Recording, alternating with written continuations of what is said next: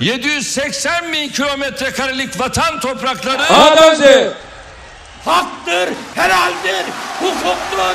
24 askerimiz şehit oldu. Derhal burayı terk et.